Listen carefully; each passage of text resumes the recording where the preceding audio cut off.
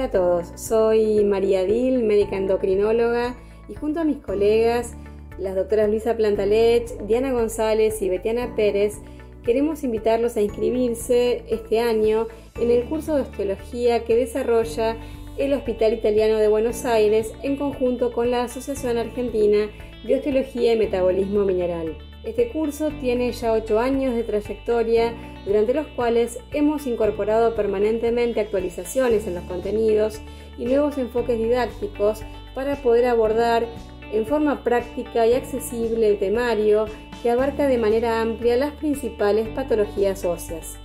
El programa del curso se desarrolla a lo largo de 10 meses con encuentros mensuales y actividades virtuales a través de nuestro campus.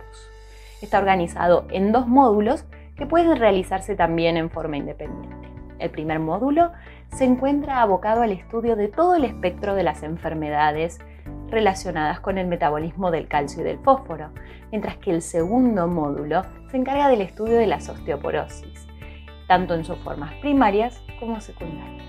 Soy la doctora Diana González y te comento que contamos con un plantel de docentes de gran experiencia, profesionales destacados, cada uno en su campo, ellos nos transmitirán un marco teórico y también su experiencia, que luego aplicaremos en talleres de casos clínicos, con la mayor interacción posible entre docentes y alumnos. Prometemos encuentros enriquecedores y desafiantes. Hola, soy Luisa Plantalech.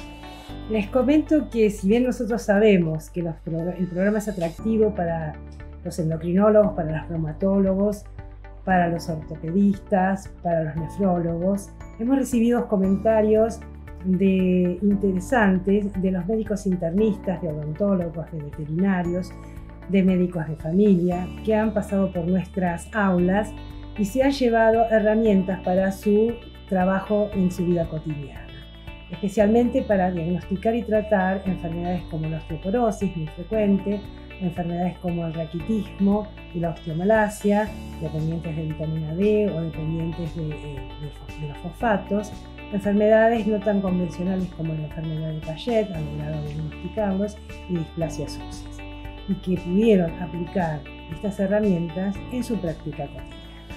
Por ello, los invitamos a participar de este curso de, de este año en curso 2022. Muchas gracias.